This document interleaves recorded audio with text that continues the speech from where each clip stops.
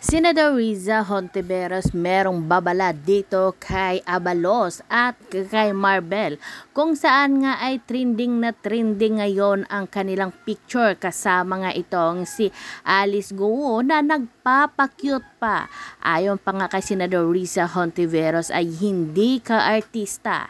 Ikaw ay patong-patong na kaso ang iyong kakaharapin at titingnan natin sa lunes kung gaano ka kapotogenic dahil unlimited ang kukuha sa iyo ng mga picture doon. Dahil marami sigurado ang kukuha ng picture mo. At kulang na lang nga sa iyo ay red carpet yung paghuli sa iyo kaya narito ang sagot or ang paliwanag ni Risa Hontiveros ganun din ito ang si Abalo We want answers, not a photo shoot. Matapos niyang makipagtaguan sa batas, ginawa namang fam meet nitong si Alice Guo ang pagkaaresto niya. Kulang na lang red carpet. Tingnan natin kung gaano siya ka-photogenic sa hearing sa lunes. Only pictures siya doon. Isang paalala rin sa ating mga kasamahan sa gobyerno. Hindi dapat ginagawang social event ang pag-aresto sa isang puganteng sangkot sa patong-patong na kaso ng human trafficking, money laundering, fake identity at gross misconduct.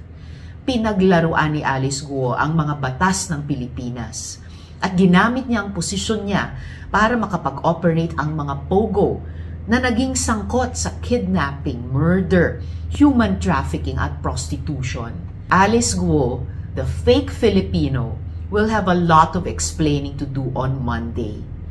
Pagbabayaran niya ang pagsisinungaling niya, ang pagtago, pagtakas, at ang panloloko sa sambayan ng Pilipino. Nag-request si Alice na kausapin kami dalawa ni Chief. At uh, sinabi niya nga na meron siya mga death threats. At uh, inassure ko siya, kami ni Chief, na yung death threats, huwag niya alalahanin, importante, sabihin niya lahat ng totoo. Lahat, huwag siya matakot, maski pa mamalalaking tao ito. At siya ibabantayan ng kapulisyahan. Tapos pinadocument namin, para lang malinaw ito, eh hindi ko naman alam kung ano yung ginagawa niya, nakaharap siya. Siyempre, nakatingin ako sa kada ng ganun. Ang hirap naman nun, hindi ba? So yun po ang nangyari niyan. No? Uh, Alice, uh, gusto bang sagutin? Ba't ka raw gumanon?